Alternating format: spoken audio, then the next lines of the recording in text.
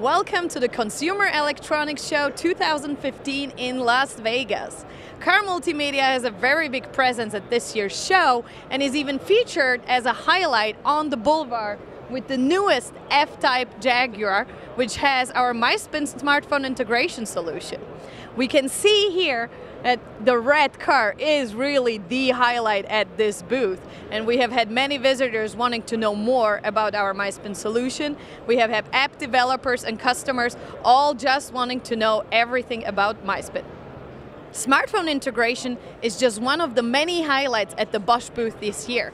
We are also showcasing many new infotainment solutions like this Generation 3 here. It was developed completely based on user experiences by observing their behavior and their preferences when using an infotainment system and thus minimizing driver distraction.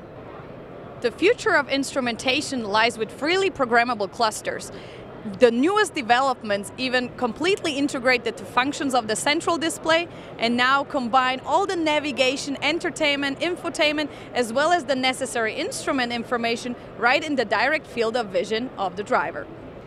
You can easily say that the CES is one of the most connected shows in the world. Of course, Bosch Car Multimedia has many connected solutions, like the Connected Horizon, where we provide dynamic data to your navigation system that will then directly tell your engine to slow down if it knows that a traffic sign is coming ahead, or as our connectivity control units for passenger cars and for motorcycles. From this year on, in Europe, emergency call will be required by law for all new vehicles, and the connectivity control unit from Bosch Car Multimedia is all you need for that. Smartphone integration, infotainment, display solutions, or connectivity services, they all have one thing in common. They want to maximize safety and comfort and minimize driver distraction.